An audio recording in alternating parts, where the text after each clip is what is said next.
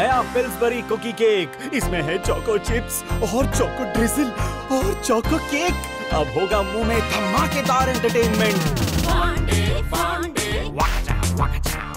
नया Pillsbury cookie cake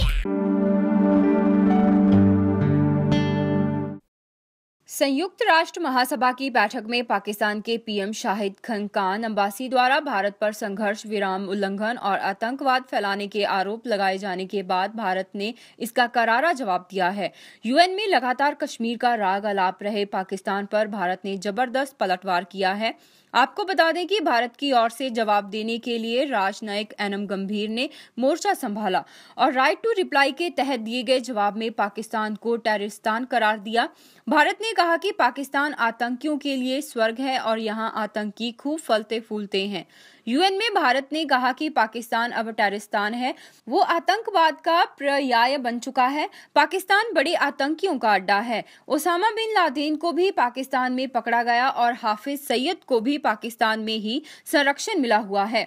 Bharat ने संयुक्त राष्ट्र सुरक्षा परिषद के सर्वसम्मति से पारित किए गए घोषणा पत्र को लागू करने से इनकार कर दिया, जिसमें संयुक्त राष्ट्र की निगरानी में जनमत संग्रह कराने की बात है, ताकि जम्मू कश्मीर के लोग स्वतंत्र होकर अपनी किस्मत का फैसला कर सकें।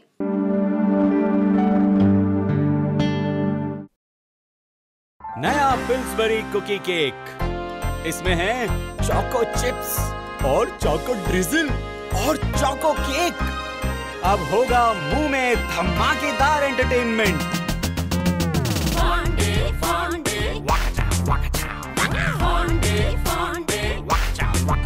नया पिल्सबरी कुकी केक आपके मुँह का एंटरटेनमेंट